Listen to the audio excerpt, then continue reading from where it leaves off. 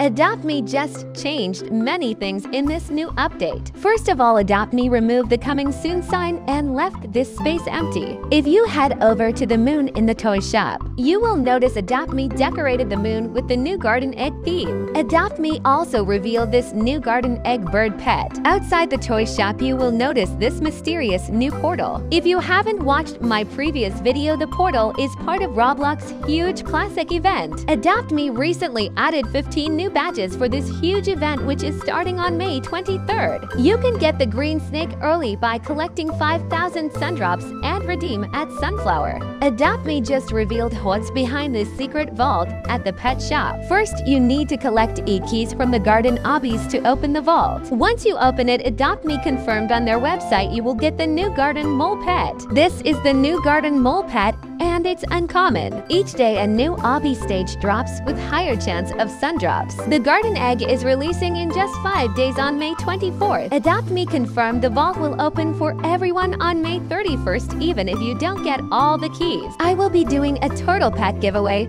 Follow all these steps if you haven't done so. Winner will be announced on May 31st. As always, thanks for watching.